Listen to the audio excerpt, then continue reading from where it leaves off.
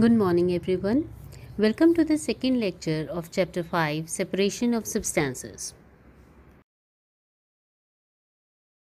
In the previous lecture, we studied how to separate a solid from a mixture of solids by techniques like hand picking, threshing, winnowing, sieving, and magnetic separation.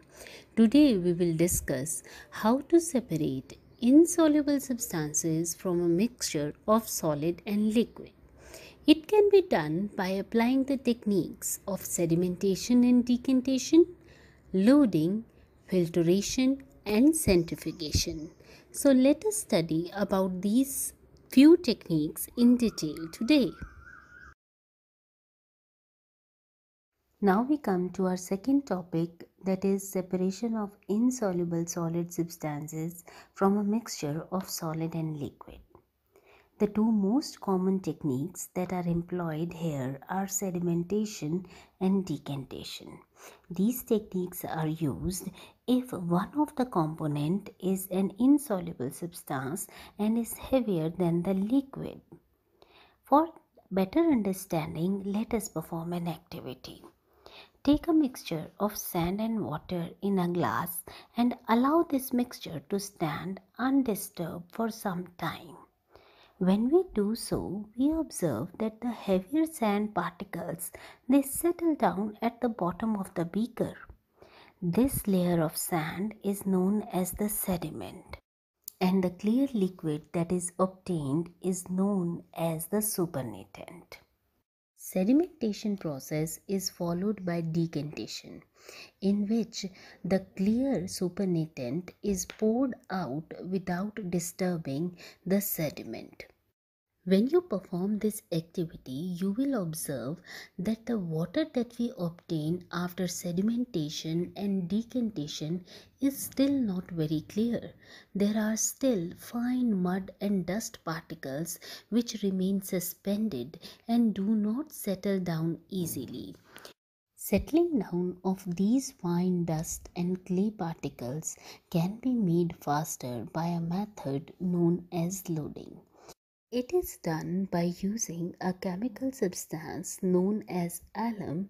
In Hindi, it is known as fitkari. Alum is soluble in water. The particles of alum entangle suspended dust and clay particles and make them heavier. When these particles they become heavier, they settle down rapidly, thus increasing the rate of sedimentation.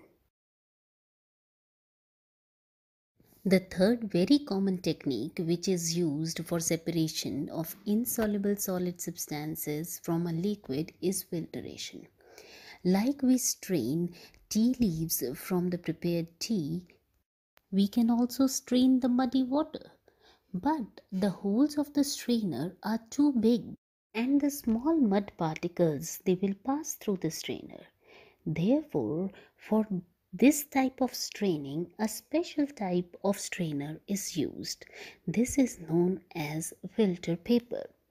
Filter paper is a piece of special paper that has millions of tiny holes in it. The holes of the filter paper are so small that they cannot be seen with the naked eyes, but you can see them only through a microscope. So, when muddy water is passed through the filter paper, the mud particles, being bigger in size, cannot pass through the filter paper and remain behind on the filter paper. This is known as residue. The clear water, it passes through the filter paper and collects in the beaker kept below.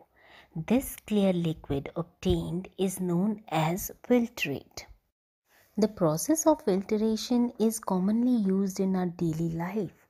There are so many examples.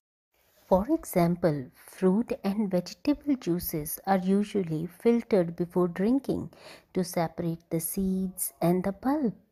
Secondly, you must have seen your mother making paneer or cottage cheese also. The paneer is separated from the liquid by passing through a fine filtering cloth or the muslin cloth. Then, of course, there is our water purifier, which also works on the same principle. If we look at the filtration and sieving processes, they look almost similar to us. But no, there is a difference between the two processes. The very important difference is that filtration is a method that is used for separation of insoluble substances from a liquid, whereas sieving is used for a mixture of two solids which differ in size.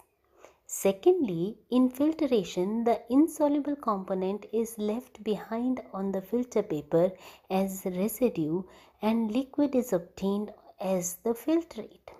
Whereas in sieving, one of the components which is larger in size, it is left behind on the sieve, whereas the smaller component, it passes through the holes and is obtained at the bottom. The next process is centrifugation. It is a very simple process that you must have seen at your home also. How do we take out the cream from the milk? By a simple method of churning. It is done by rotating the liquid on high speed either by hand or by using a mixture.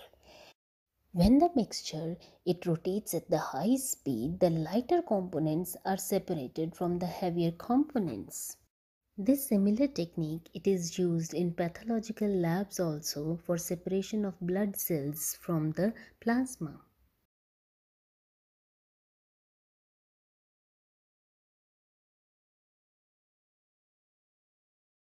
This is it for today children. In the next class, we will study about the other techniques like evaporation, condensation, etc.